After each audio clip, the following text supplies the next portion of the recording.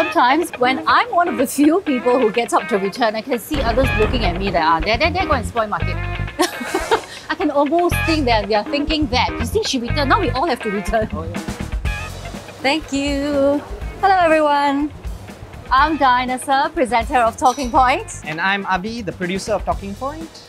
So, a few weeks ago, uh, Talking Point investigated on the topic of why Singaporeans don't return their trays when eating out at the hawker centre. The episode has been out for a few weeks, and a lot of people on YouTube had a lot of things to say about the episode. Yeah, I know. I have to say, I didn't quite expect it. So, today, what Abi and I are going to do is to read and respond to some of your comments. Are you ready for the first comment? Yes, I am, absolutely. Okay. Raira Soru writes, if we do keep the tray, no job for uncle and auntie who wants to who wants to work as a tray or bowl retriever. Okay, Raira, do you watch our show or not? Did you watch the show? Actually, this is a really common perception, but I assure you that I know many of you are worried about the aunties and uncles losing their job, but they won't. But there's plenty for them to do as a matter of fact. Uh, I went on an, an immersion during the program as a cleaner.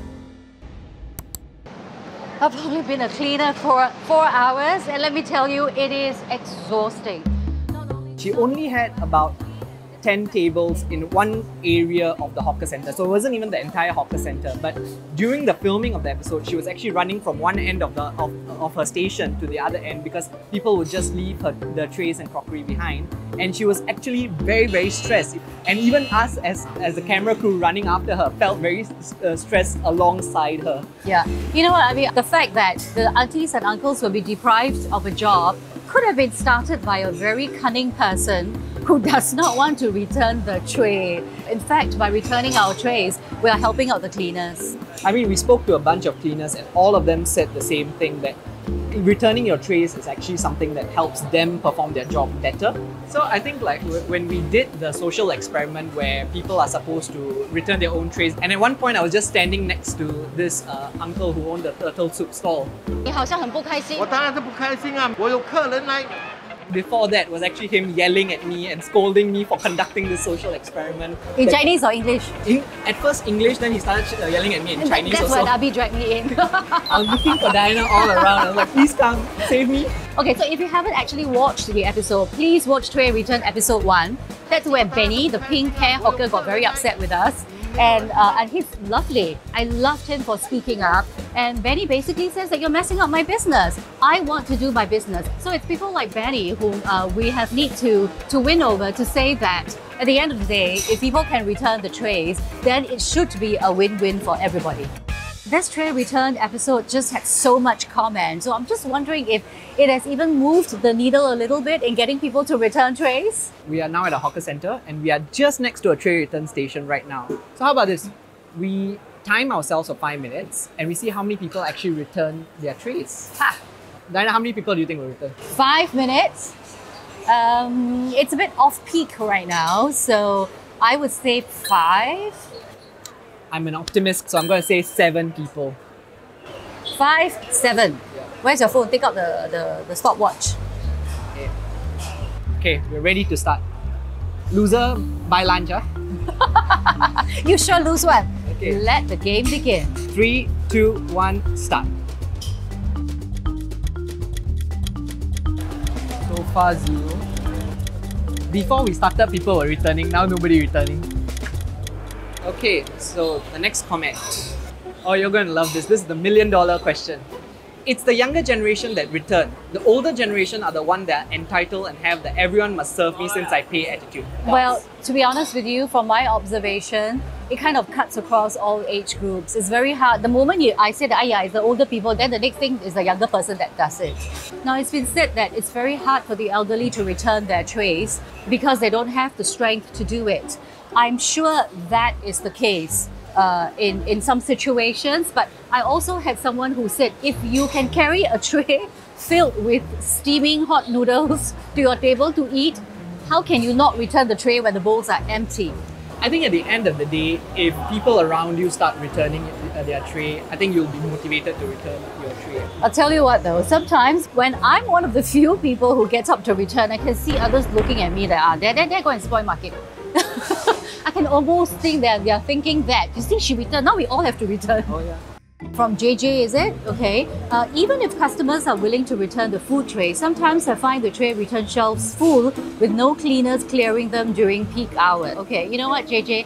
I've been in a situation whereby I brought all my bowls and plates to the tray return station and it was overflowing and I really didn't know what to do. I was so frightened because it's going to come crashing down. So I put on the floor. Because uh, because of the fact that they are having to clear up after us, most of the time there's nobody positioned at the tray return station. They're just running around across tables trying to quickly clear our trays. The- Actually, the problem is, is chicken and egg story. Nobody nearby is returning. I would have thought our episode would have more impact.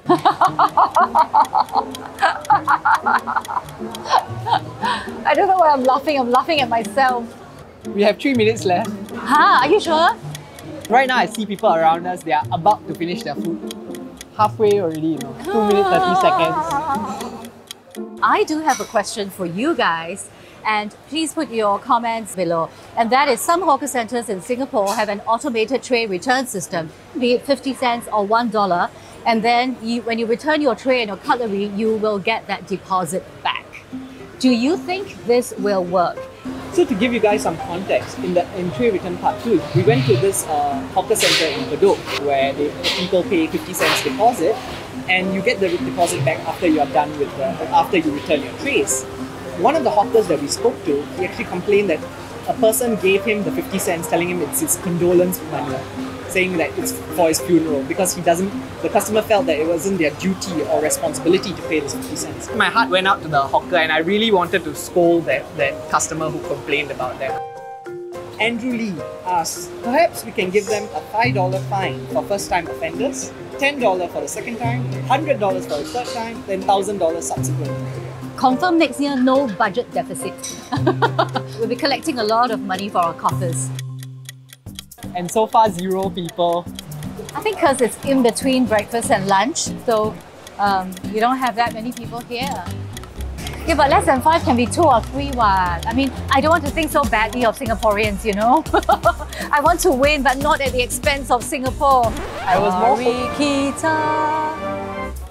I was so much more hopeful. Last minute, we are at the last minute.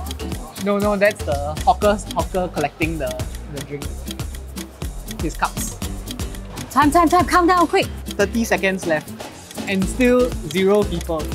And we are now at our last 15 seconds with nobody returning their trays and crockery. 10, 9, 8, 7, 6, 5, 4, 3, 2, 1, 0. So I win, right? yeah, you win. Technically, you won. Yeah, because Nope. it's at less than five. We all lost. So thank you very much for all your comments. We hope that you will share your thoughts with us, regardless of whether uh, you are for or against trade return, right?